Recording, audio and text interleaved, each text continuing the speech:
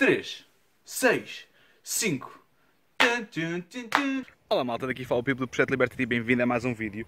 Uh, hoje vamos falar acerca de, mais uma vez, o nosso espaço é relativamente reduzido, nós temos mais ou menos a volta de 5.000 metros quadrados, 4.500 metros quadrados, a contar com a casa de habitação que é bastante grande. E nós, eu que quero vos passar hoje é que existe sempre mais um de espaço. Eu vou-vos mostrar hoje, estou aqui a fazer mais uma cama. Aliás, esta parte aqui estou a melhorar, isto ainda não está pronto, estou a fazer, uh, porque vamos receber um porco uh, durante a semana que vem. Portanto, eu vou, uh, estou a preparar aquilo para, para que o porco não consiga passar, não consiga esgravatar para baixo. Ok, vou fazer ali uma zona, tenho ali uma vala e vou, vou encher aquilo com pedras e com um bocadinho de cimento, se calhar, só mesmo para agarrar para o porco não consiga escravar para baixo. Ok? Uh, as galinhas não é, não é um problema tão grande que elas tentam aguentar com este tipo de, de vedação, porque aquele lá todo, aquela parte ali toda, é tudo das galinhas, ok? Por agora. Um, e, e, com isto eu quero-vos dizer que nesta parte, há pouco tempo, eu pensava que não tinha espaço nenhum, ok? Só que abrindo esta parte, como vocês estão a ver, estou a abrir, estou a aproveitar estes moldes todos, tive aqui boa de faveiras, tive aqui muitas faveiras, foi aqui que eu tive as faveiras, e agora o que é que eu estou a fazer? Vou conseguir fazer duas camas, incluindo esta cerejeira, que esta cerejeira já fomos nós que plantamos aqui por causa dos melros, nós temos uma, uma cerejeira grande do outro lado e, e os melros iam sempre buscar a, a, as cerejas daquele lado e vinham comê-los para aqui, para a zona mais vulnerável. Nós temos bastantes gatos e, eles, e aquele melro específico ia buscar as, as, as cerejas. E vinha aqui comer saltitando sempre para, para ter sempre o perímetro assegurado por causa dos gatos. E vinha sempre por aqui um monte de, de caroças de cerejas. E eu decidi, bem, pode ser um sinal do melro e coloquei aqui uma cerejeira, vamos lá ver o que é que ela vai dar, até ver, epá, ela não está com grande aspecto neste momento porque ela foi transplantada já grande, ela não estava aqui, ela não foi de semente, já foi transplantada do outro lado já grande, vamos ver o que é que vai dar, ok?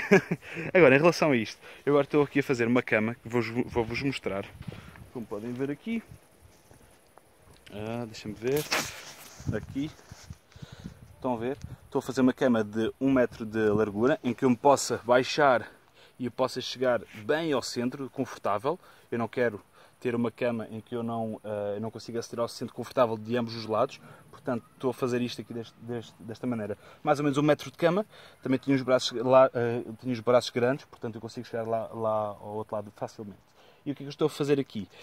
Como é uma cama como esta cama é uma cama que, que, que, nós temos um solo muito barrento aqui e isto é o, é o ponto mais barrento do nosso sítio, aliás, este e aquele sítio ali, então, a parte mais, mais baixa, que ficou mais compactada. E o que eu decidi fazer aqui foi uh, mexer a terra, virei-a, cavei a terra e a última vez, esperemos nós, depois só, só usando a gralinete. A gralinete é uma forquilha que dá para oxigenar a terra em vez de, de, de quebrar a estrutura da própria terra. Um, e eu cavei esta terra para ficar soltinha. Porquê? Só e apenas porque eu queria plantar aqui montes de cenouras. Vou plantar um cento sem cenouras em 1, 2, 3, 4, 5 metros, uh, 5 metros quadrados, 5 metros lineares e 1 metro de, de, de largura. E entre isso, vou, coloquei aqui uns pimentos e umas berinjelas que estão daquele lado também. Coloquei aqui mais ou menos à volta de uns 20, 20 uh, pimentos e berinjelas em 5 metros lineares, que é para encher isto tudo com cenouras. O que eu quero, o que eu quero fazer aqui, eu, eu quero conseguir tirar uma produção de cenouras, 100 cenouras, para se calhar 70, se algumas uh, não, não correrem bem, que é para poder suprimir essa necessidade de ir ao supermercado comprar as cenouras, enquanto estou a aproveitar o espaço que me parecia ocupado, ok? Portanto, malta, o que eu vos quero dizer é que existe sempre mais espaço, existe sempre mais sítios onde poder plantar, colocar mais uma planta.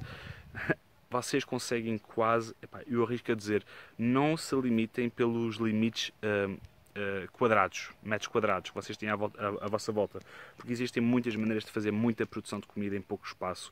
Uh, neste caso, uma cama de 5 metros por 1 vai produzir bastante comida, vai produzir pelo, pelo menos aí a volta de 50, 70 cenouras, vamos dizer assim, se não, se não mais, e vai produzir uma grande, uns, uns bons quilos de pimentos e uns bons quilos de berinjelas, que já não vamos precisar de ir ao supermercado comprar.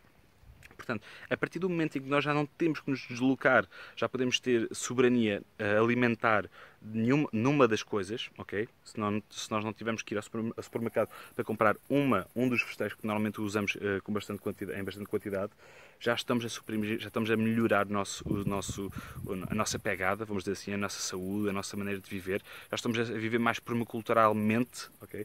Porque uh, muitas pessoas perguntam-me, então, mas o que é isso, viver permaculturalmente? É basicamente desenhar um, um um habitat sustentável para nós, para os humanos, sem termos que gastar uh, muita energia para ter muita coisa. A ideia é melhorar a transferência de energias em vez de nós gastamos, colocamos muito input da nossa energia para tirar muito input, muito output, nós queremos tirar, nós queremos colocar o mínimo de input para retirar o máximo de output. É melhorar os sistemas, automatizar os sistemas, uh, tornar os sistemas regenerativos e sustentáveis por si, uh, para que nós não tenhamos que estar sempre a cavar aqui o, o solo, para nós não termos estar sempre a, a destruir a estrutura do solo, a, a destruir estas conexões que nós não conseguimos ver que estão abaixo do sol e não ficamos com um sol destes, que apesar de não, ter, não ser mau, é muito compactado. Este, este, sol está, este sol está seco e ele, estão a ver, está bastante compactado apesar de estar seco, completamente seco, eu não, que eu não reguei esta cama, o resto da horta está, está fixe. Mas esta, esta parte, como é nova, tem o sol assim. Vai melhorar, claro que vai melhorar. E vocês podem fazer o mesmo aí nos vossos terrenos, nas vossas casas, nas vossas varandas. Não se limitem pelos limites, ok? Limitem-se apenas pela vossa, pelas vossas ações, o que vocês conseguem fazer ou não fazer. Mas tentem sempre puxar um bocadinho para a frente, porque existe sempre uma existe sempre um nós conseguimos sempre ir um bocadinho mais longe do que nós acreditamos que conseguimos. Portanto, malta, este foi o vídeo de hoje, espero que tenham gostado. Já, já saiu o próximo curso da Escola Liberta, vamos, vamos ter um curso de Bosques de Alimentos, vão ser 4 dias, ok, vão ser 2 dias, mas vão ser 4 sessões de 3 horas e meia entre o dia 15 de agosto e o, e o 5 de setembro, todos os sábados, das 3 às 6 e meia, e depois vocês ficam com acesso ao curso vitalício, às gravações editadas em módulos para o resto da vida, ok? Um, e, uh, para, para, para, vocês reverem, verem e reverem quando quiserem ao vosso ritmo depois disso. Uh, agora, neste preciso momento, existe o desconto madrugador até o 31 de julho, portanto, agora é mesmo o melhor momento para vocês, se tiverem interesse neste curso, para vocês se inscreverem, para vocês uh, fazerem parte deste curso, porque vocês têm o, preço menor pela, máxima, pela máxima quantidade de coisas que vão receber. Portanto, este realmente é o melhor momento. Se vocês tiverem interesse neste tema, uh, aqui acima vou deixar os links para vocês poderem aceder, para vocês pesquisarem os programas e verem se, vos interessa. Então, se vos interessar, participem, nós teremos todo o gosto em ter-vos ter-vos lá em direto e depois ter-vos na escola Liberta-te uh, na vossa área de membros. Um grande abraço para todos, um grande beijinho, espero que tenham gostado do vídeo e não te esqueças que a liberdade é apenas a oportunidade de seres e fazeres algo melhor. Liberta-te.